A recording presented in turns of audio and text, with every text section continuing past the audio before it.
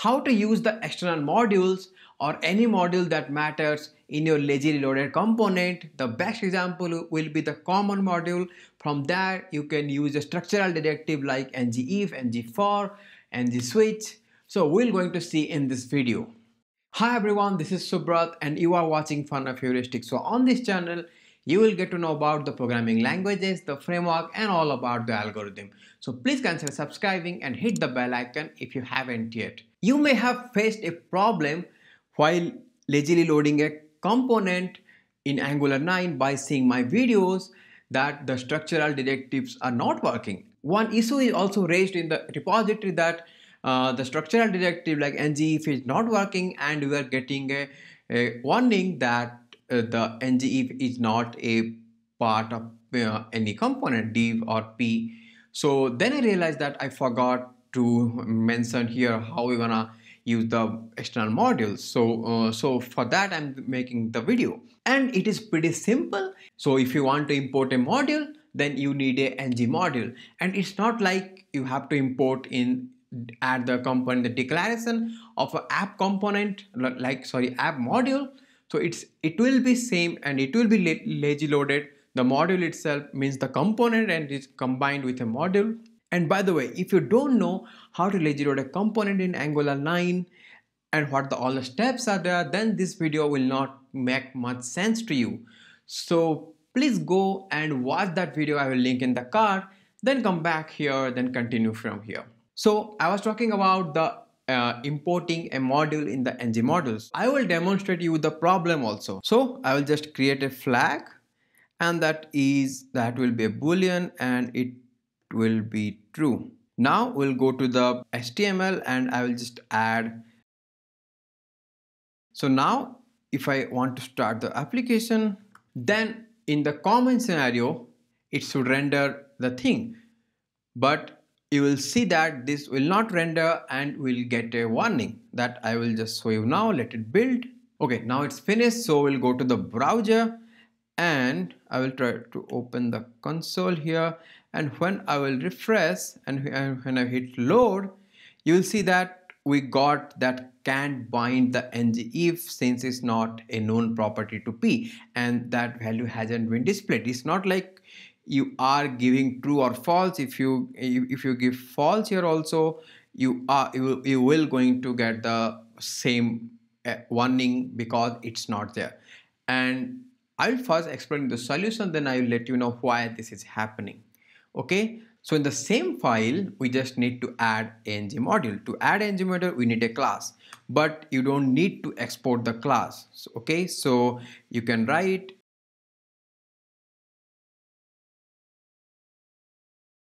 you know that your ng module has a declaration that's a that will accept an array and you have the import.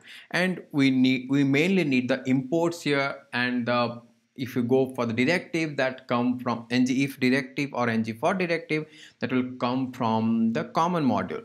So to use this module in our component we need to declare the component here. That is our lazy component a. And for our for this case we need the common module. If you hover on the common module you will get that basic angular directives like ngif ngfor this uh, will be implement this is implemented through common module.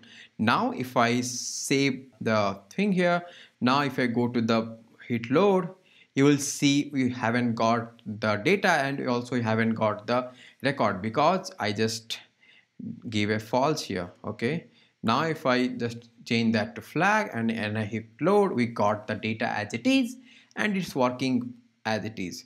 Now you will say okay you have declared the component. Now it's it will not be lazy loaded. Now that's that i just want to show you here.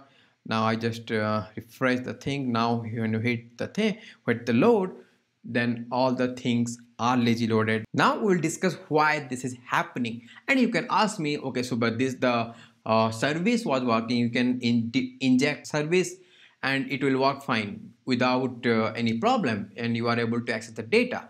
But why not the common module or why not the directives or why not the any external modules which is imported in the ng module means the app module? So how lazy loaded work is your javascript is built and it pushed to the page means pushed to the angular context so if i i want i will show you here just keep an eye on the console. I will make it bigger but okay. So i will just go to the uh, this component ages then what we'll do is we'll try to search. You can see that all our data is pre rendered javascript. Render means pre-generated javascript and that is inserted to the angular context. If i will go here you will see that our string you you are watching then our what we are fetching from the services then our again the string here. And the same thing you can find it here. This is injected to the module. Suppose think like you you when you are creating this uh, this javascript file that file will not have any context of the common module that is here. So in the previous case we didn't have anything about common modules so while creating the javascript from this angular constructed code your angular compiler or the Ivy compiler don't know yet what is ngIf if if you don't give the common module because it's not there. So that's why we were not able to see the result and we got the warning in the previous case. Now you can ask me okay suppose you this this context is got created. Now again now if you do some changes in ngIf will that work? And yes that will work because it is injected to angular already. So now it's in angular context. Now uh, it's like thing like it is a normal component which is now injected in, inside angular. Now you have access to all the all the variable all the modules all the services and that will work as it is. So this is how you can use external modules or uh, any module that matter in angular component. And I want to tell you one more thing that if you are using web component in your application and you have provided a schema here that is custom element schema already in the ng app app modules then you have to do that here as well. Like I'm doing it here so I'll just write a schema and that is custom element schema. So the reason is the same as the common module you are using like the like I print for the ngIf while the IDE will generate the javascript file this will find your tag or the web component tag we are you are using that is not in the angular context and it will see you haven't provided a schema so you will going to see an error like we saw for the ng if. So that's it for today guys. Today we saw how to use a module or external module or how to give a custom element schema in your uh, lazily loaded component so that you can inject it properly to your uh, angular context. So you can use your structural directives like ngIf ngFor or any other modules that matters. Please hit the like button if you are liking the video till now and please subscribe to the channel and don't forget to hit the bell icon so that you will be get notified whenever I will put a video and please share this video among your friends, family, colleague and please give some valuable comment in the comment section below. We're going to meet in the next video. Till that, stay happy. Bye-bye.